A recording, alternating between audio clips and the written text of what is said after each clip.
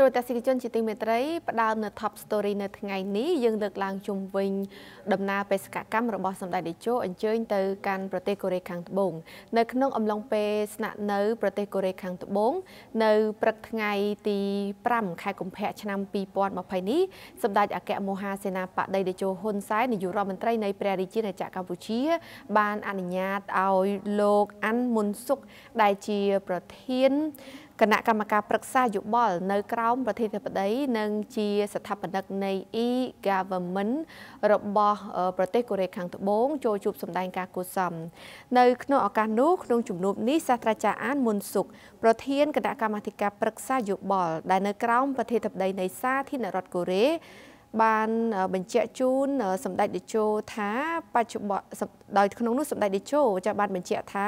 បច្ចុប្បន្ននេះកម្ពុជាក្រោមការដឹកនាំរបស់សម្ដេចកំពុងជំរុញប្រព័ន្ធ e-government ហើយសង្ឃឹមថាប្រទេសកូរ៉េខាងត្បូងគឺអាចបន្តជួយរាជរដ្ឋាភិបាលនៅលើប្រព័ន្ធនេះ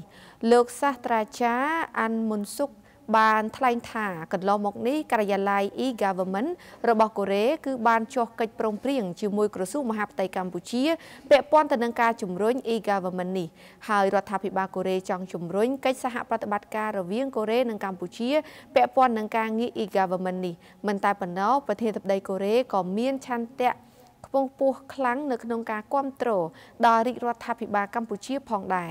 សម្ដេចតេជោបានស្នើឲ្យភាគីកូរ៉េផ្ដល់នូវការចែករំលែកបទពិសោធន៍ជាក់លាក់ពាក់ព័ន្ធនឹង e-government ជាមួយនឹងកម្ពុជាតែម្ដង ដែលលោកសាស្ត្រាចារ្យអានមុនសុកបានបញ្ជាក់ថានឹងមកកម្ពុជា ដើម្បីជួយនៅក្នុងការបណ្ដុះបណ្ដាលក៏ដូចជាការរៀបចំ ផែនការមេសម្រាប់ e-government នេះ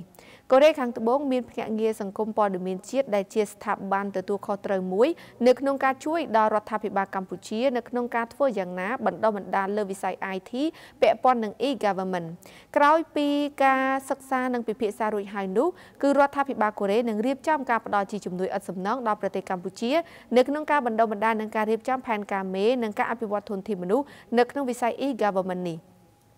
សម្ដេចតេជោហ៊ុនសែនបានបញ្ជាក់ថាពាក់ព័ន្ធនឹងការងារ e-government រាជរដ្ឋាភិបាលកម្ពុជា បានធ្វើការមួយចំនួនធំហើយអ្វីដែលនៅសល់គឺការរៀបចំផែនការមេក្នុងការចែករំលែកបទពិសោធន៍របស់កូរ៉េមកកាន់កម្ពុជា ជាពិសេសក្នុងការបណ្ដុះបណ្ដាលមន្ត្រីក្នុងការរៀបចំផែនការមេឬផែនទីចង្អុលផ្លូវពាក់ព័ន្ធទៅនឹងការបណ្ដុះបណ្ដាល e-government លោកសាស្ត្រាចារ្យអានមុនសុកបានបញ្ជាក់ថាប្រព័ន្ធការងារ e-government អាចជួយរាជរដ្ឋាភិបាលកម្ពុជាជាច្រើននៅគ្រប់វិស័យទាំងអស់ជាពិសេសគឺធ្វើយ៉ាងណាឲ្យមន្ត្រីរាជរដ្ឋាភិបាលអាចរៀនសូត្របានច្រើន។